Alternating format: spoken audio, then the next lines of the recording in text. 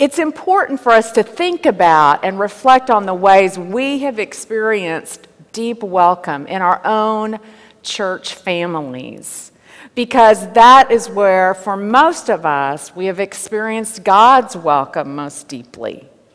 And the only way we can welcome others is because we have already known that welcome from God.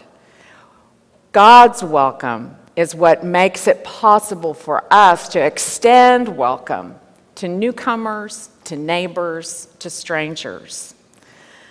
We know this welcome deep in our lives because it comes from the heart of the good news, the gospel of Jesus Christ. The good news that Jesus calls new life, abundant life, eternal life, kingdom life. I like the way that Eugene Peterson has translated in the message Paul's words to the Corinthians that describes this welcome, this new life, this abundant life this way. Dear, dear Corinthians, I can't tell you how much I long for you to enter this wide open, spacious life. We didn't fence you in. The smallness you feel comes from within you.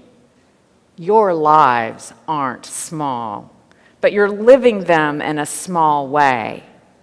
I'm speaking as plainly as I can, and with great affection, open up your lives. Live openly and expansively.